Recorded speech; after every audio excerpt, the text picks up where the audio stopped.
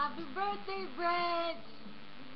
Um, this is just to say, today's my sister's birthday. Um, I didn't really get to spend time with her today, which sucks because school and stuff, and I'm not really in the mood to be hanging out with anyone right now because today was such a, let's say, hard day. A lot of stuff went on today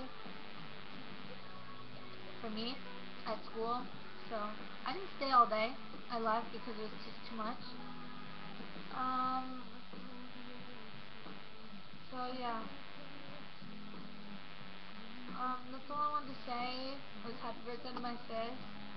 Oh, maybe I'll make a video with her later.